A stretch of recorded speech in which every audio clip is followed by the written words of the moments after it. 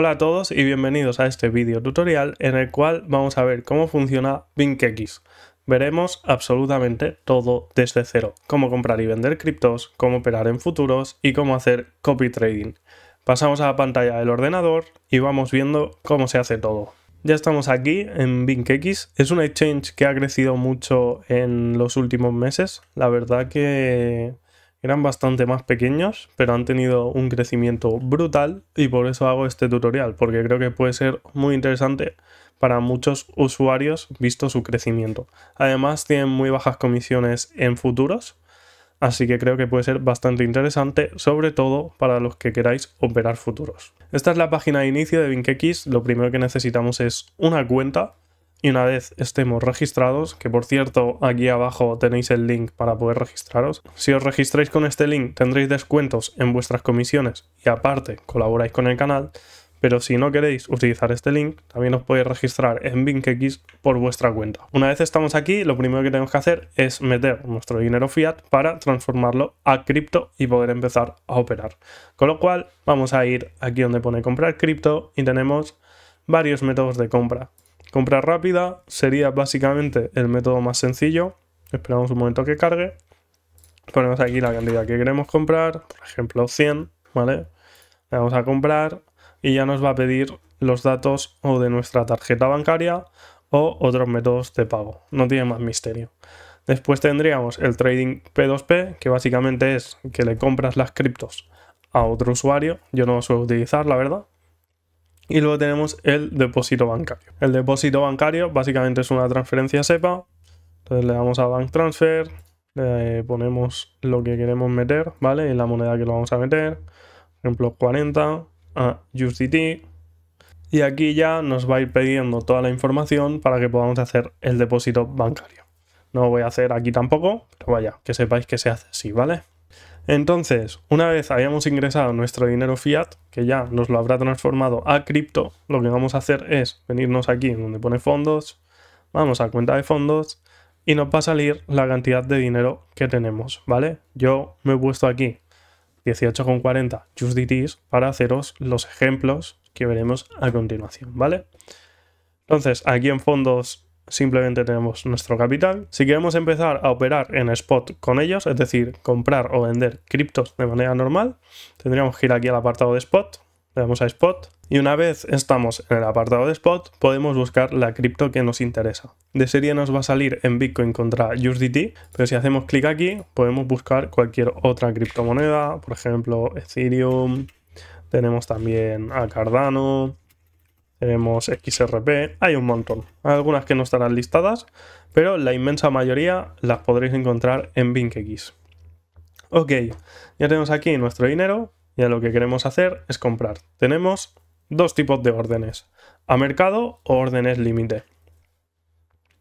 Las órdenes a mercado, básicamente aquí donde pone spot, le damos a mercado y en importe pues tendríamos que poner lo que queremos comprar. Yo para hacer el ejemplo voy a comprar por ejemplo 5 USDTs. Le vamos a comprar Bitcoin a mercado y a mercado quiere decir que nos lo va a comprar al precio que está actualmente. Si yo le doy 5 USDTs, me va a comprar 5 USDTs de Bitcoin a 48.296 dólares. Damos OK y aquí veis que en cuenta de fondos ya tengo 13 dólares y aquí abajo me han aparecido los Bitcoins que tengo. Como se he metido 5 USDTs, pues la cantidad es mínima. Vamos a hacer también una orden límite para que veáis cómo funciona, ¿vale? Por ejemplo, si yo quisiese comprar Bitcoin a 45.000, pues aquí en precio pongo 45.000 dólares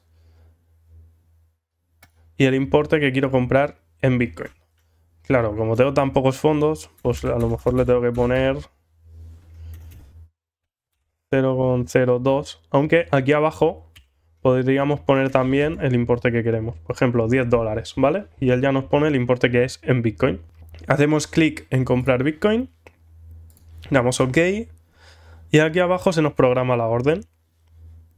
Esto quiere decir que cuando Bitcoin toque el precio que le hemos dicho, 45.000 dólares, nos va a comprar esta cantidad de Bitcoin, que es la cantidad equivalente a el valor de orden. ¿Vale? La vamos a cancelar porque necesito el capital para seguir haciendo ejemplos, ¿vale? Cancelamos, confirmamos ok.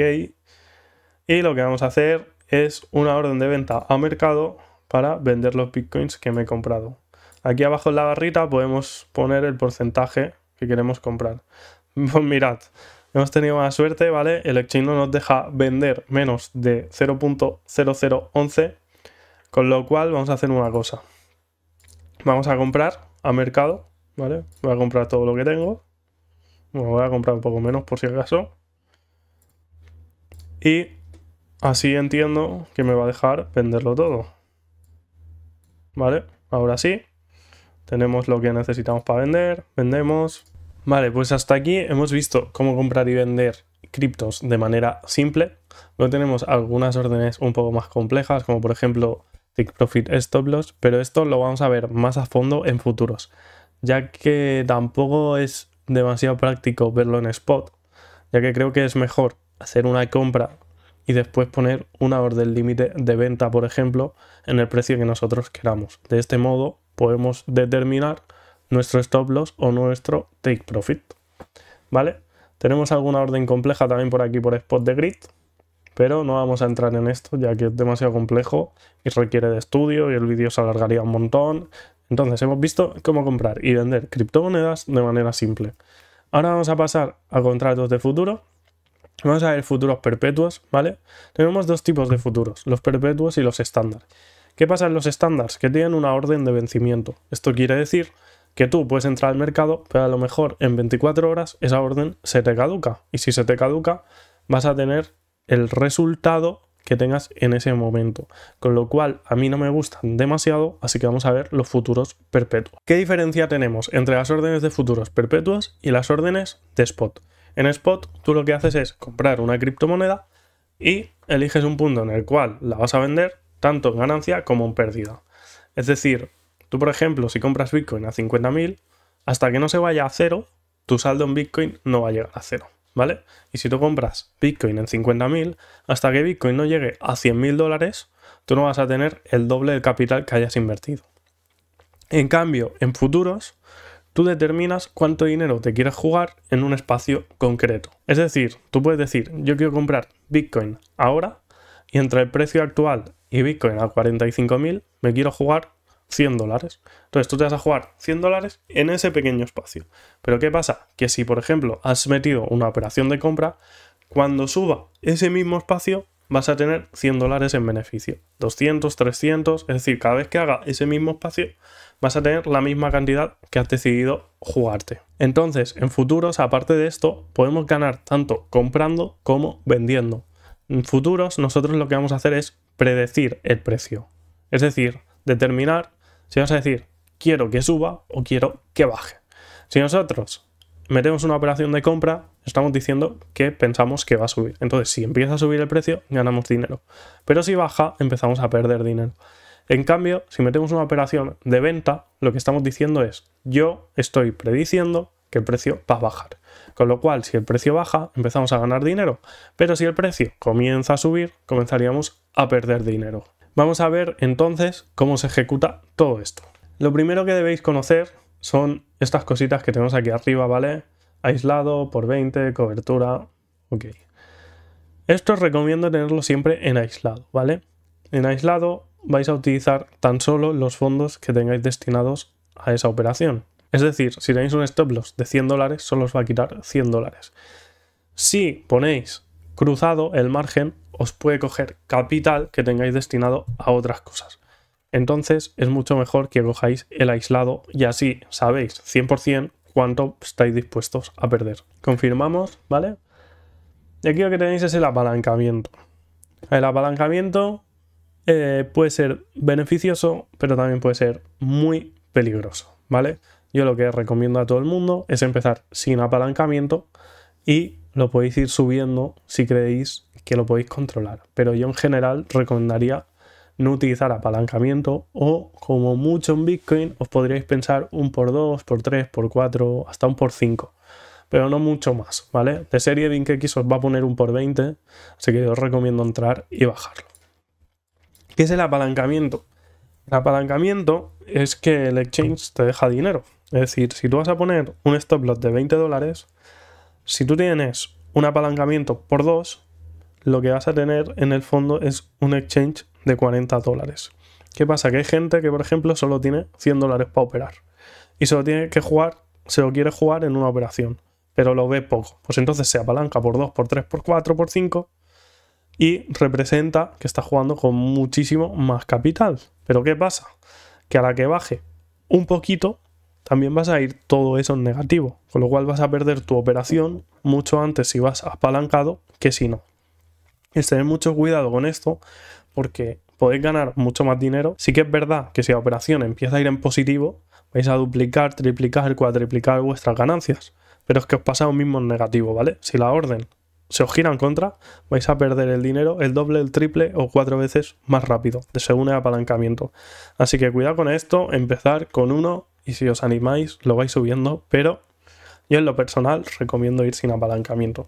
De hecho, BinkX os deja apalancaros hasta un 125%, que es bastante barbaridad. Vale, lo ponemos en por uno. Ok. Una vez tenemos seleccionado el margen correcto y el apalancamiento correcto, lo que tenemos que hacer para poder operar en futuros es transferirnos fondos a nuestra cuenta de futuros. lo que vamos a hacer es darle aquí donde pone disponible a la flechita hasta aquí y en nuestra cuenta de fondos tendremos los fondos que hayamos depositado. Yo le voy a dar a todo y lo podemos transferir a nuestra cuenta de futuros. Confirmamos. ¿Vale? Ya los tenemos aquí y ahora ya podemos empezar a operar. Al igual que en Spot, podemos utilizar tanto órdenes límite como órdenes a mercado.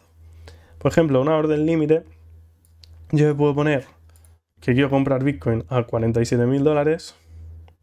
¿Vale? Le puedo poner que quiero eh, comprar el máximo que me deje. Y luego le puedo poner si voy a abrir un long o un short. ¿Vale? El long es compra y el short es venta. ¿Esto que nos deja?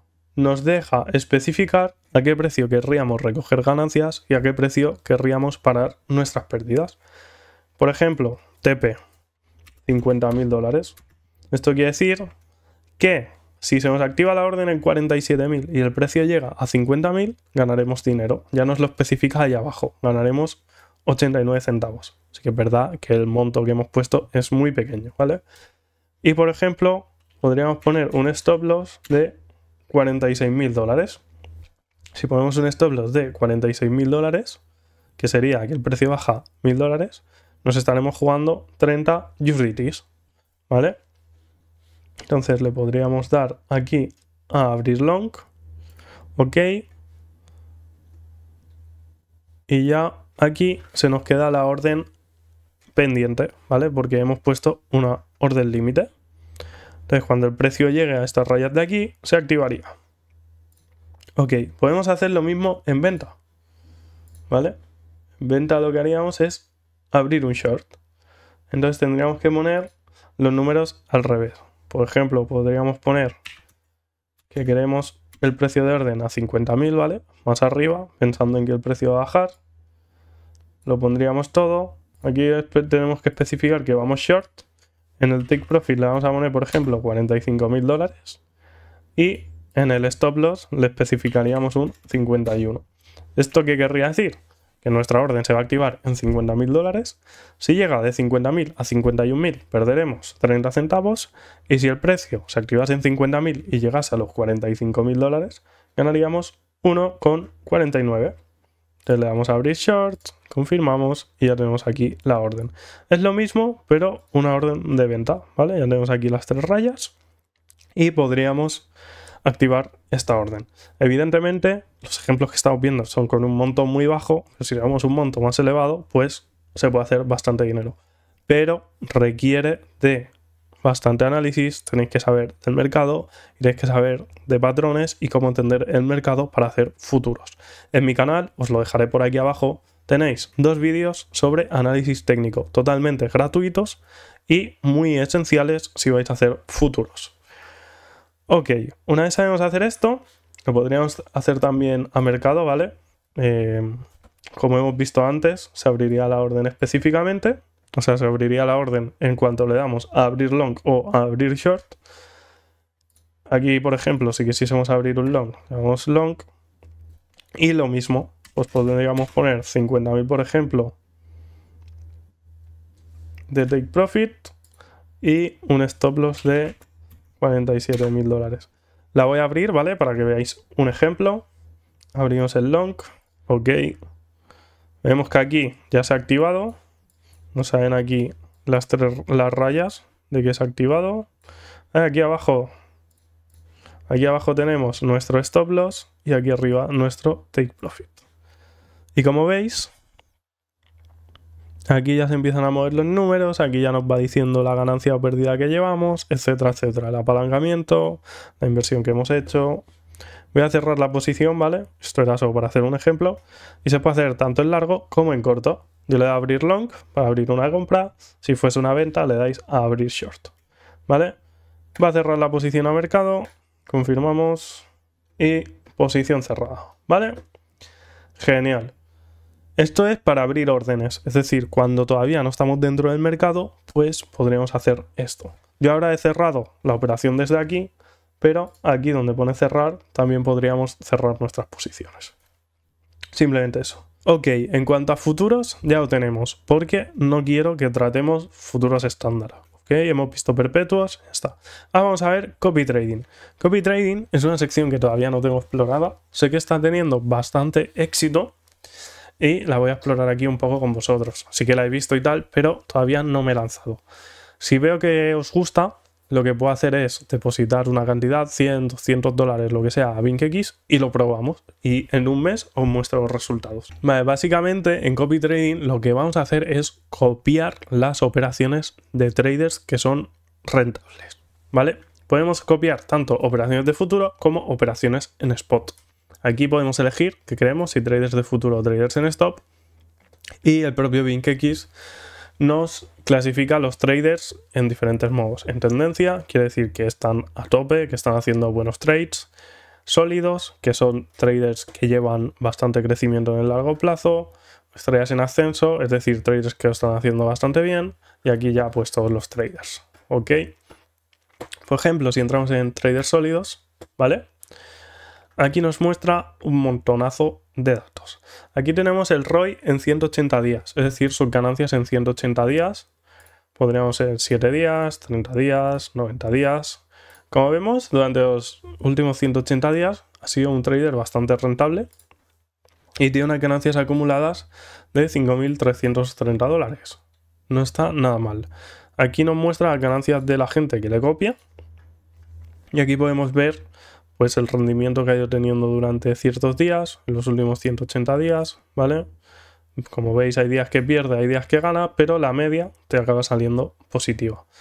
Y evaluación del riesgo, lo que te mide es si el trader hace muchas operaciones, si las deja abiertas, si cierra pronto. Entonces, bueno, ahí te, te mide un poco el riesgo.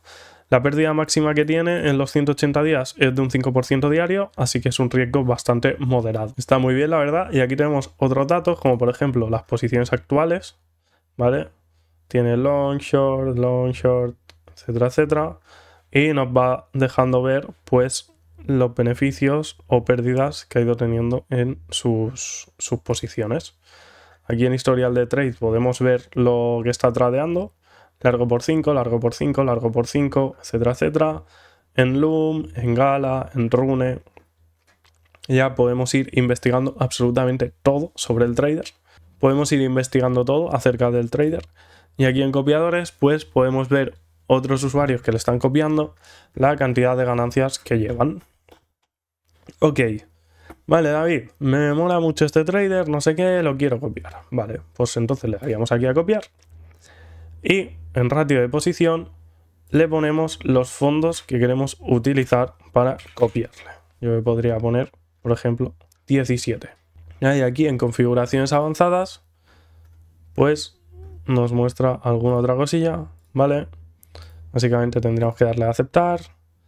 Y aquí en toma de ganancias, lo que nosotros podemos especificar es, según el presupuesto que le vayamos a poner al trader, cuando queremos que nos cierre nuestras operaciones. Es decir, nosotros podemos copiar al trader, ¿vale? Copiamos los trades, pero luego aquí primero le podemos especificar cuándo queremos que cierre la operación Es decir, que no la va a cerrar cuando la cierre el trader, sino que la va a cerrar cuando especifiquemos nosotros. Esto solo si queremos, ¿vale? Si no, nos lo va a copiar tal cual. Y luego lo que podemos hacer aparte es entrar nosotros personalmente a nuestra cuenta de futuros, como hemos visto antes, y ahí vamos a ver todos los trades. Es decir, tú copias la operación del trader, pero la operación se abre en tu cuenta. Entonces tú puedes ir a tu propia cuenta de futuros y ahí ajustar todos los parámetros. ¿Es recomendable? Bajo mi punto de vista, no. ¿Por qué? Porque si tú estás copiando a un trader que tiene una estrategia, cuando tú vayas a cerrar, cuando él no cierra, te estás pasando por ahí abajo su estrategia personal. Entonces aumenta las probabilidades de fallar. Sobre todo en pérdidas. Si vais en pérdidas, no me plantearía para nada cerrar antes que el trader, porque él tendrá su estrategia. Y si vais en ganancias, puede ser más planteable si estáis contentos con lo que habéis ganado, pero la verdad que casi que tampoco. Porque si, por ejemplo, os pierde 5 operaciones y luego gana 10, si él tiene una estrategia concreta, es para que con esas 10 operaciones que gana pueda remontar todas las pérdidas que lleva. Si vosotros vais cortando beneficios antes de tiempo, no vais a remontar todas las pérdidas que ha tenido con esa estrategia. Así que yo creo que si copiáis algún trader, lo tenéis que copiar tal cual. Entonces aquí nosotros lo que hacemos es ponerle la cantidad que queremos y el propio BinkX se encarga de calcular cuánto se va a jugar en cada operación. Es decir, si el trader se juega el 1% de su cuenta, si tú le pones 20 dólares, en una operación se va a jugar 20 centavos y así sucesivamente, ¿vale? Entonces aquí lo que hace es respetar los mismos márgenes que utiliza el trader. Y si no, tendríamos la opción de por orden, que aquí le podemos especificar cuánto dinero queremos que se juegue en cada orden.